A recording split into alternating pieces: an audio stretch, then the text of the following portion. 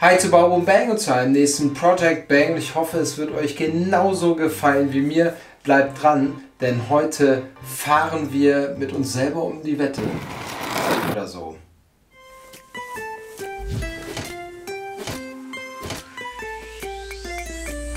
Wer schon länger bei Bauboom Bang dabei ist oder so das Video schon gesehen hat, der kann sich vielleicht daran erinnern, dass ich mein Mellow Drive unter eins meiner Coulon Pittermännchen gebaut habe und damit das kleinste elektrische Skateboard der Welt gebaut habe. Also ich bin immer noch der Meinung, dass es so ist. Ob es wirklich so ist, kann ich euch nicht sagen. Das Video verlinke ich euch auf jeden Fall da oben nochmal. Aber heute werde ich das Ganze pimpen, denn ich habe ja immer noch ein kaputtes Bein und die Skate-Saison hat schon längst angefangen und ich könnte äh, einfach einfach laut schreien, äh, dass ich nicht richtig skaten kann und äh, das ist mir zu gefährlich. Unter ein Longboard zu schnallen habe ich auch schon gemacht, ist mir auch zu gefährlich und deshalb möchte ich heute mit euch einen alten Kickroller mit meinem Mellow Drive und einem Pittermännchen zusammen verschmilzen lassen. Da haben wir die Kollegen, das ist ja einmal mein Pittermännchen, äh, quasi das fertige, die fertige Version, die ich extra quasi dafür hergestellt habe. Ihr seht es ein bisschen andere Bohrungen, also nur im vorderen Bereich. Und da ist der Mellow Drive drunter gebaut und das wird auch so bleiben. Ich werde nur den Mellow Drive davon wegnehmen, das Brett so behalten, damit ich das immer wieder so zurückbauen kann. Und das ist auch das Geile am Mellow Drive. Ihr könnt euch das einfach da drunter schneiden, wo ihr gerade Bock habt. Ich habe auch noch ein Longboard, da habe ich es auch schon mal drunter gebaut. Dann äh, seht ihr hier, habe ich schon äh, fertige Pittermännchen.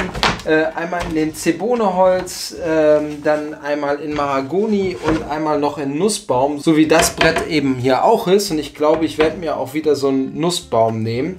Oder ich werde mir das Zebone nehmen. Das Zebone sieht halt auch super geil aus. Ich werde gleich mal gucken. Und ähm, dann werden wir eins davon quasi umbauen um das hiermit quasi zu verheiraten. Das ist ein alter ähm, Kickroller, den ich noch in der Garage gefunden habe. Da sind ein paar Sachen kaputt und es ist halt auch mega dreckig. Den werden wir komplett neu aufsetzen, äh, sauber machen, reparieren, umbauen und so weiter. Und damit geht jetzt los. Genau, den werden wir jetzt erstmal auseinandernehmen. Ich werde mir mal hier so ein paar Imbusschlüssel rausnehmen mit der Hoffnung, dass die denn irgendwie alle passen dass das die richtigen Größen sind, aber ich gehe stark davon aus. Und den werden wir jetzt in alle Einzelteile zerlegen und dann gucken, was wir davon noch reparieren können oder nicht.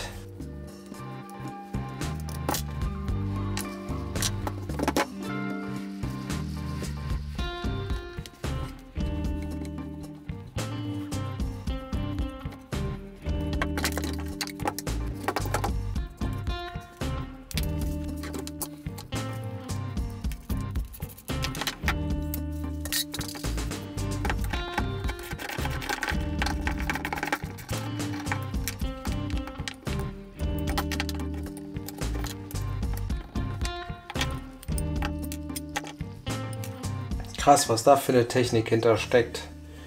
Nicht schlecht. Alles, was ich von dem Kollegen brauche, habe ich jetzt auseinander. Äh, die Rollen sind, er gesagt, die Kugellager sind natürlich ziemlich durch. Man hört's.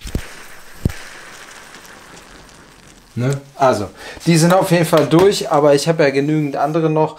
Äh, ich habe nur solche Rollen nicht. Ich muss jetzt mal ähm, nochmal erkennen, was das genau für Rollen sind. Und dann muss ich mal fix neue bestellen und äh, vielleicht noch so ein paar Lageraufnahmen. Äh, mal gucken, ob ich dazu was im Netz finde. Und ähm, genau, ansonsten werde ich mir ein paar Sachen vielleicht drucken müssen, weil ich habe hier gerade solche Washer einfach geschrottet. Also der ist mir einfach äh, gebrochen. Ich wusste nicht, dass der ah, so sensibel ist. Und ähm, dann werde ich das hier natürlich alles sauber machen. Und hierzu brauche ich eine neue Arretierung. Hm. Ich weiß noch nicht genau, wie ich die mache. Vielleicht werde ich mir hier irgendwas zusammenschweißen, was ich einfach dann da so reinstecken kann. Pff, irgendein Schnellverschluss. Ich weiß es noch nicht. Da muss ich mir noch ein Board nehmen, was ich dann quasi hier drauf äh, noch zuschneide, dass es cool passt. Ich weiß noch nicht wie. Aber eigentlich muss ich mir ein noch ungebohrtes Brett nehmen, äh, damit ich das so richtig anshapen kann. Ich will es richtig anshapen, obwohl das geht. Äh, wenn ich das hier abmache, dann passt es schon total gut zur Form. Guckt mal. Hm. Das passt. Sieht schon cool aus. Vielleicht muss ich das hier noch spitzer machen.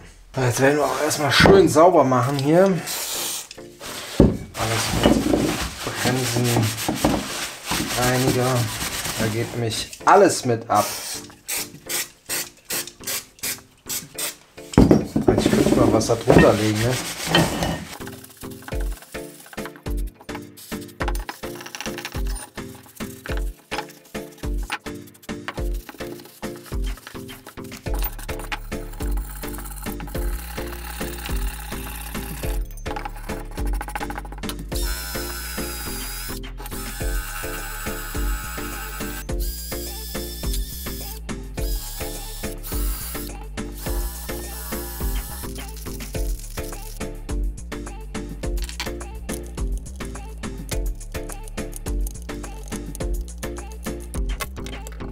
So, haben wir den Motor.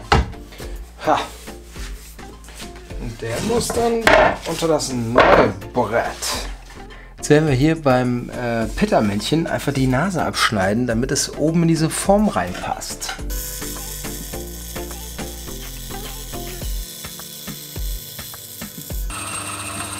Abgeschnitten, hat ein paar Funken gegeben, weil ja Kohlefaser, äh Glasfaser da drin verarbeitet ist. Und es mag das Band vielleicht nicht so ganz. Hm, naja, auf jeden Fall gut geworden. Querschnitt.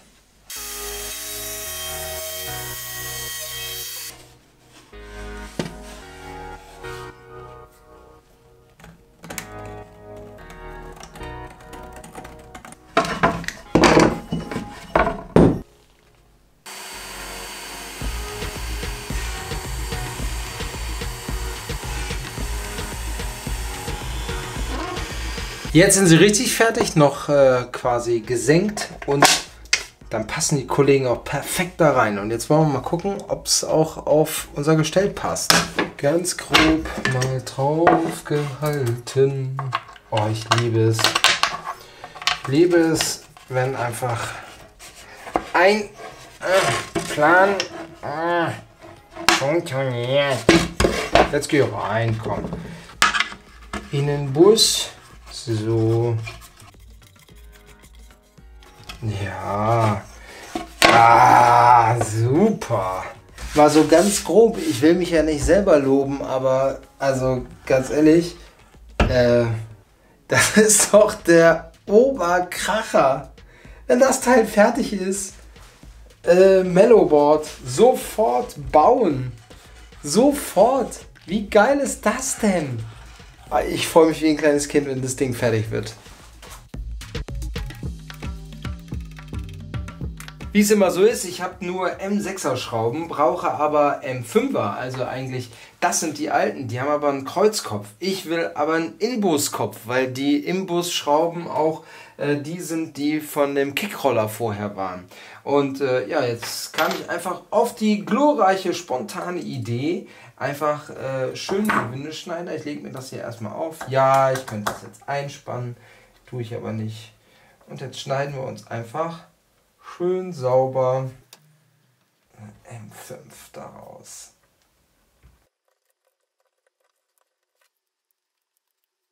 Ein bisschen Öl da drauf, dann zieht es ein bisschen besser.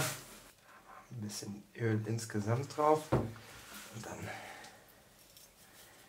ja, schneide gleich viel cooler.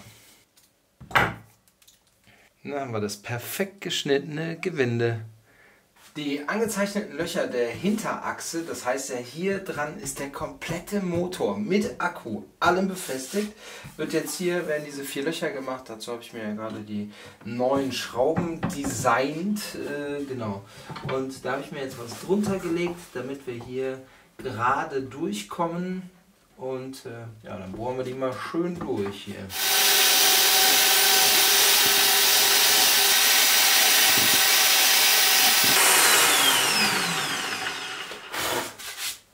Und jetzt fasen wir schön unsere Löcher noch an äh, von oben, damit die Schrauben sich anständig versenken.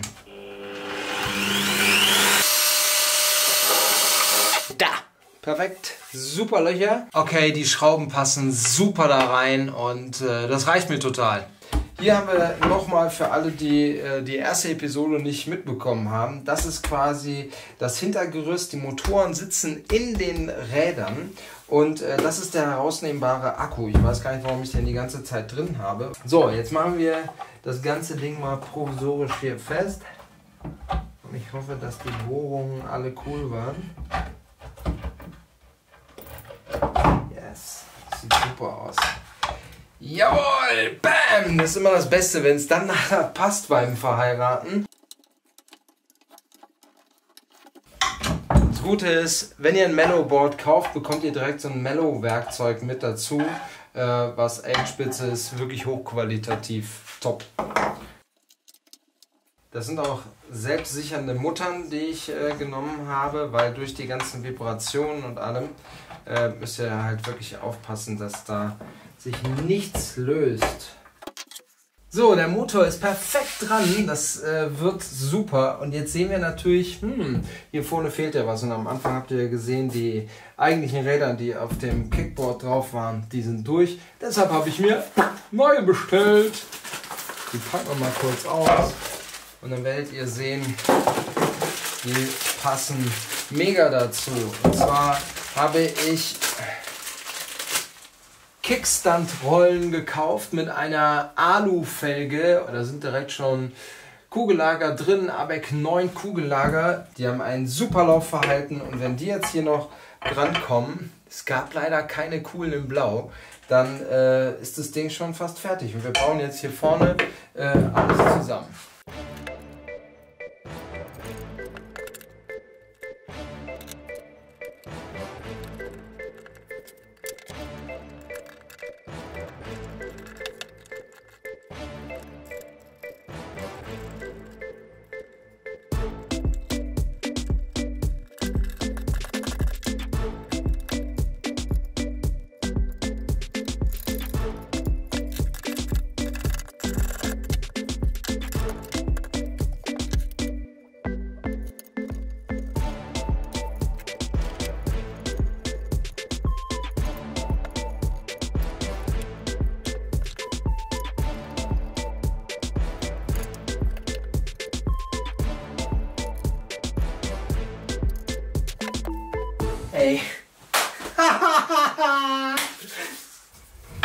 Zack. Jetzt brauche ich hier nur noch einen Verschluss für. Fertig. Der Kollege ist quasi fertig zusammengebaut. Jetzt fehlt mir nur noch dieser Pin. Da überlege ich noch, wie ich es genau mache. Ich habe jetzt mal eine Kleinigkeit ausprobiert, die aber noch viel zu heiß ist, weil ich sie gerade abgeschnitten habe. Aber äh, das zeige ich euch dann, wenn ich eine Lösung habe. In der Zeit streiche ich den ganzen Spaß mal. Ich mache das Ganze mit meinem äh, 2 in 1 äh, Swing Color Klarlack ähm, glänzend. Das sieht ganz cool aus. Und der kommt überall auf meine Skateboards drauf.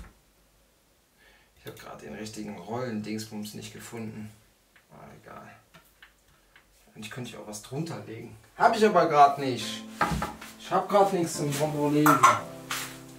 Egal. So. Da kommt schön die Farbe raus direkt.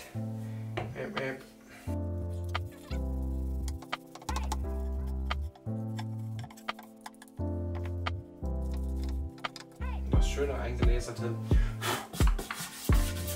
Gelong wird natürlich auch noch cool, aber es sieht leider keiner nachher, weil die Bretter sind schon alle von mir gelasert, die vorgefertigten. Immer, ich hatte jetzt kein komplett Rohling.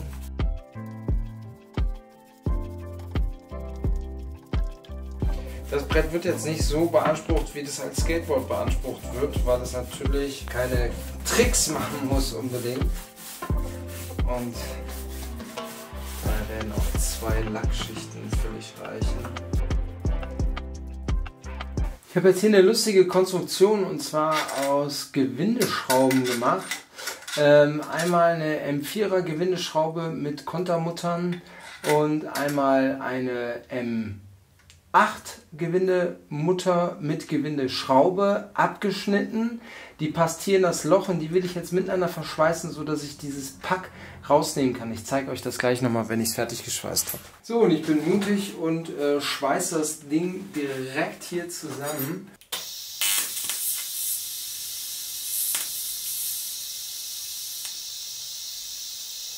Bam! Passt perfekt sofort, Alter. Komm raus. Ja! Top! Ja, geilo! Ja, fein! Fein habe ich das gemacht! Das verzieht sich natürlich direkt. Hoffe ich nicht. Oder doch, oder so. Irgendwie sowas. Yes! Ha! Das ist nämlich genau so, wie ich das haben will. Einfach so zusammen und das ist quasi so ein Doppelbolzen. Und das passt da perfekt rein. Ähm, Alter, wie geil bin ich denn bitte? Ich bin echt der Coolste. Bam. So, bisschen so zacken, buff, passt es da rein. Jetzt wird es von der anderen Seite gekontert. Ja, dann müssen wir das vielleicht noch ein bisschen fein schleifen oder so und dann geht das. Also wir haben ja hier diesen Kippmechanismus, so, diesen Kippmechanismus und der wird geblockt von, einer von der Seite mit diesen Doppelschrauben. Die haben wir uns jetzt gerade zusammengeschweißt und jetzt äh, packe ich die mal zusammen und zeige euch, was jetzt noch dazu gehört. Und zwar die obere Schraube kommt oben, also die dünne kommt oben rein. So, und jetzt ist es auch miteinander wirklich verbunden. Und damit man das ähm, quasi ja, immer unterwegs entweder hier oben oder da unten einrasten lassen kann, habe ich mir jetzt das so überlegt, dass die äh, Schraube hier weiter rausgeht und so ist eigentlich auch der eigentliche Mechanismus mal gewesen. Ähm, aber ich glaube, das war irgendwie mit so einer Klemme oder irgendwie sowas war das. Ich kann es nicht mehr sagen. Es ist halt irgendwann kaputt gegangen und äh, seitdem funktionierte dieses Ding da oben nicht mehr und deshalb hat es auch keiner benutzt. Jetzt machen wir da äh, drauf hier Unterlegsscheiben. Äh, dann eine Feder, wieder eine Unterlegsscheibe und dann eine Mutter, die das Ganze hier auf Spannung setzt. Jetzt werde ich das, die Mutter hier mit der Gewindeschraube aber noch verschweißen äh, und dann abschneiden, so dass das quasi ein Teil ist, was ich zusammen machen kann, äh, damit man das äh, ja, zusammendrücken kann. Wir schweißen mit 65 äh, Ampere, da kommt jetzt richtig Dampf raus, das geht sehr schnell.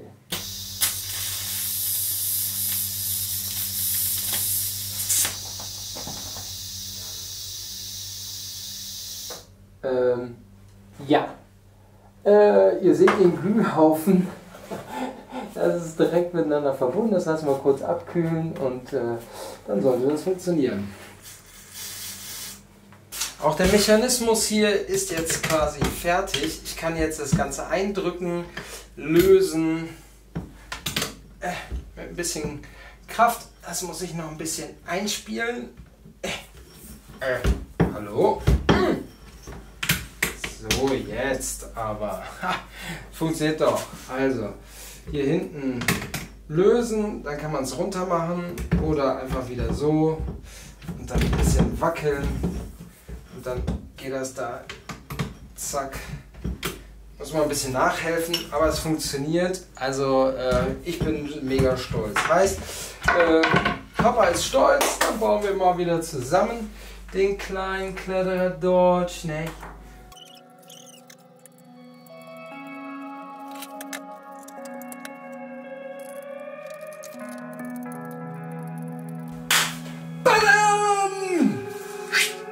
Fertig. Die Fernbedienung anmachen, dann kann man hier von den verschiedenen Modi wählen, vom Rookie, Eco, Pro bis zum Endless Mode. Ähm, dazu könnt ihr aber auch gerne im äh, oben verlinkten Video checken, was welcher Mode ist.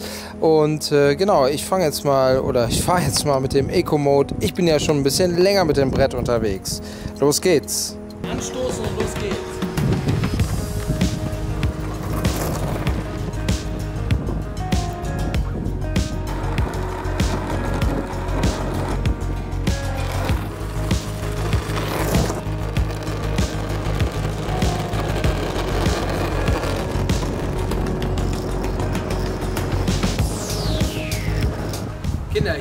Ergebnis von einer wunderbaren Idee und ich bin einfach mega happy. Und äh, ja, raus aus der Garage, aber schon ein paar Tage gefahren. Äh, das muss ich dazu sagen, weil ich wollte das Ganze natürlich auch erst testen. Ob das, was ich da gebaut habe, ich euch wirklich auch anvertrauen kann. Und ich kann sagen, ja, das äh, Ergebnis ist der Kracher, es hält. Äh, ich bin nicht der Einzige, der bisher schon darauf gefahren äh, ist. Und ähm, ja, das ist nochmal ein komplett neuer Spaß. Einfach äh, und man traut sich auch einfach direkt ein bisschen schneller zu fahren. Wenn euch dieses Video gefallen hat, dann kommentiert fleißig, äh, gebt mir einen Daumen nach oben und schaltet die Glocke an, damit ihr nie wieder ein Video vom Bauboom Bang verpasst. Und hier könnt ihr mich abonnieren und da ist das nächste Video. Also, tschüss!